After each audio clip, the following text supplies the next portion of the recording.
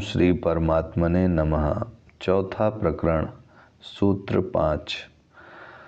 ब्रह्मा से चीटी पर्यंत चार प्रकार के जीवों के समूह में ज्ञानी की ही इच्छा और अनिच्छा को रोकने में सामर्थ्य है। जिस प्रकार ज्ञानी एवं अज्ञानी के कार्यों एवं व्यवहारों में भिन्नता दिखाई देती है, उसी प्रकार ज्ञानियों तथा अज्ञानियों द्वारा निर्मित शास्त्रों में भी भिन्नता दिखाई देती है। सभी ज्ञानियों की एक ही दृष्टि होती है, किंतु अज्ञानियों में सभी की दृष्टि भिन्न भिन्न होती है।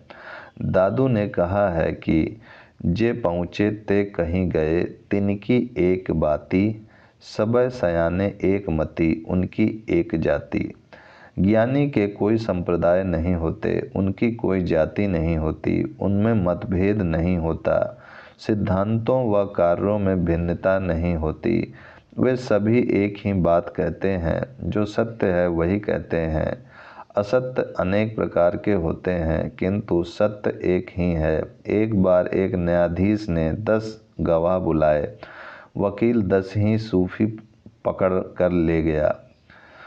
न्यायाधीश ने कहा कि मैं इन दस सूफियों को एक ही गवाह मानूँगा, क्योंकि सभी सूफी एक ही बात कहते हैं, अतः यह एक ही गवाह हुआ।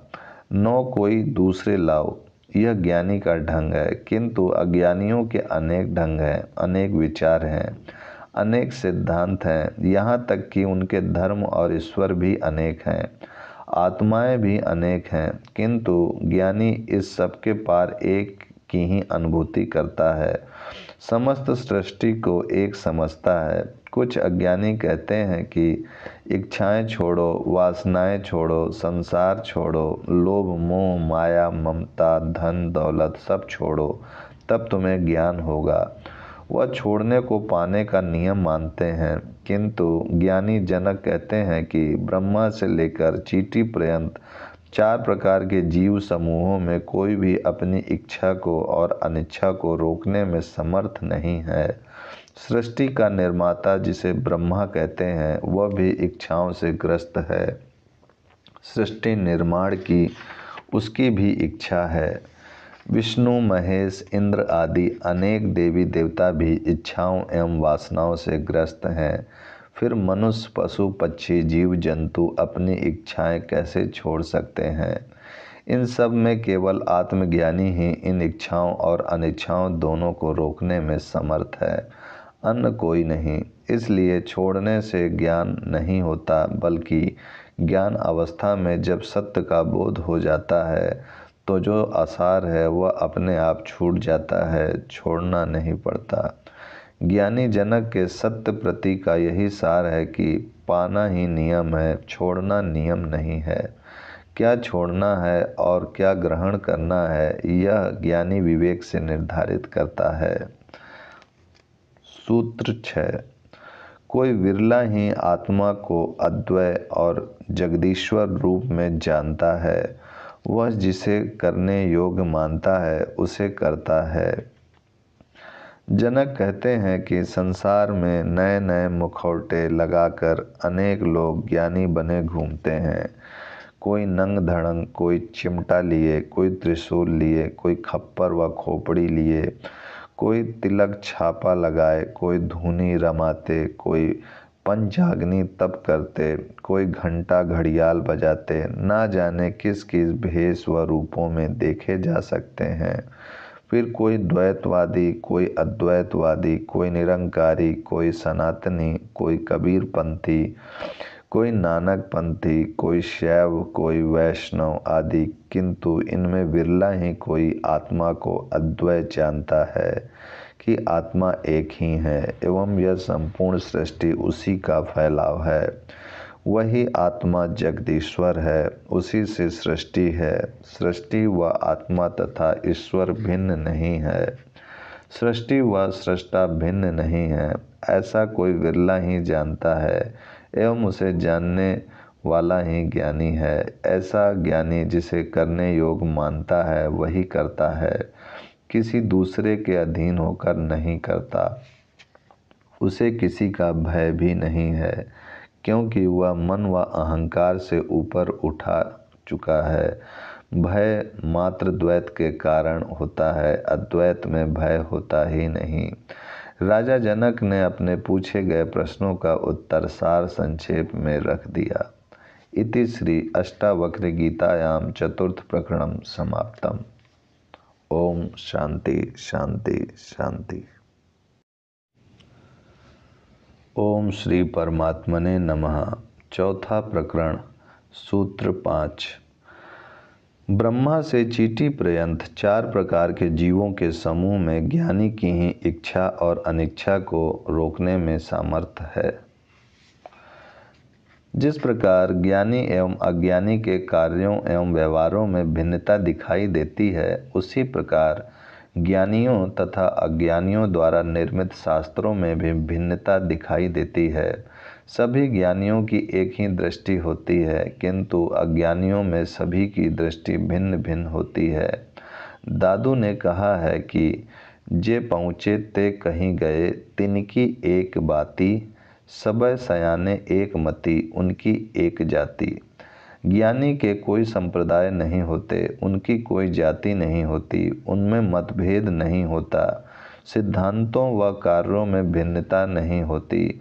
वे सभी एक ही बात कहते हैं, जो सत्य है वही कहते हैं। असत्य अनेक प्रकार के होते हैं, किंतु सत्य एक ही है। एक बार एक न्यायाधीश ने दस गवाह बुलाए, वकील दस ही सूफी पकड़ कर ले गया।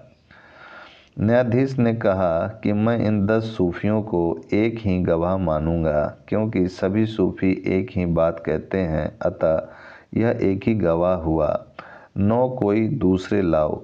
यह ज्ञानी का ढंग है, किंतु अज्ञानियों के अनेक ढंग हैं, अनेक विचार हैं, अनेक सिद्धांत हैं। यहाँ तक कि उनके धर्म और ईश्वर भी अनेक हैं, आत्माएँ भी अनेक हैं, किंतु ज्ञानी इस सब के पार एक की ही अनुभूति करता है।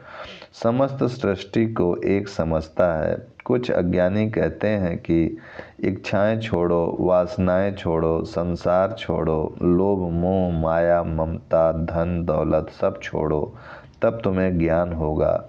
वह छोड़ने को पाने का नियम मानते हैं, किंतु ज्ञानी जनक कहते हैं कि ब्रह्मा से लेकर चीटी पर्यंत चार प्रकार के जीव समूहों में कोई भी अपनी इच्छा को और अनिच्छा को रोकने में समर्थ नहीं है। सृष्टि का निर्माता जिसे ब्रह्मा कहते हैं, वह भी इच्छाओं से ग्रस्त है। सृष्टि निर्माण की उसकी भी इच्छा है। विष्णु, महेश, इंद्र आदि अनेक देवी देवता भी इच्छाओं एवं वासनाओं से ग्रस्त हैं। फिर मनुष्य, पशु, पक्षी, जीव, जंतु अपनी इच्छाएँ कैसे छोड़ सकते हैं? इन सब में केवल आत्मज्ञानी ही इन इच्छाओं और अनिच्छाओं दोनों को रोकने में समर्थ है। अन्य कोई नहीं, इसलिए छोड़ने से ज्ञान नहीं होता, बल्कि ज्ञान अवस्था में जब सत्य का बोध हो जाता है तो जो आसार है वह अपने आप छूट जाता है, छोड़ना नहीं पड़ता। ज्ञानी जनक के सत्य प्रति का यही सार है कि पाना ही नियम है, छोड़ना नियम नहीं है। क्या छोड़ना है और क्या ग्रहण करना है, यह ज्ञानी विवेक से निर्धारित करता है। सूत्र छः। कोई विरला ही आत्मा को अद्वय और जगदीश्वर रूप में जानता है, वह जिसे करने योग्य मानता है, उसे करता है। जनक कहते हैं कि संसार में नए नए मुखौटे लगाकर अनेक लोग ज्ञानी बने घूमते हैं। कोई नंग धड़ंग कोई चिमटा लिए, कोई त्रिशूल लिए, कोई खप्पर व खोपड़ी लिए, कोई तिलक छापा लगाए, कोई धुनी रमाते, कोई पंचाग्नि तप करते, कोई घंटा घड़ियाल बजाते, ना जाने किस किस भेष व रूपों में देखे जा सकते हैं।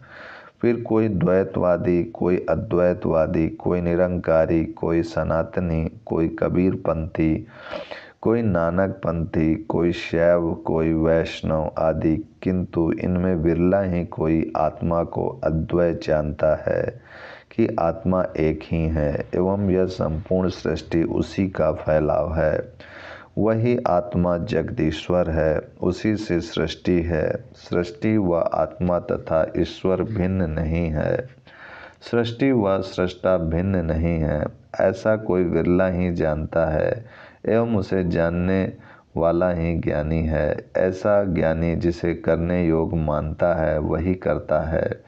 किसी दूसरे के अधीन होकर नहीं करता। उसे किसी का भय भी नहीं है। क्योंकि वह मन व अहंकार से ऊपर उठा चुका है।